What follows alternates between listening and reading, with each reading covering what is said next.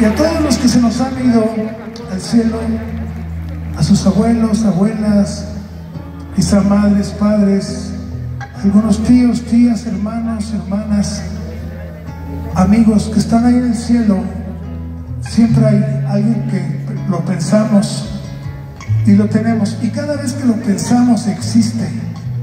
Por eso hay que traerlos a la mente.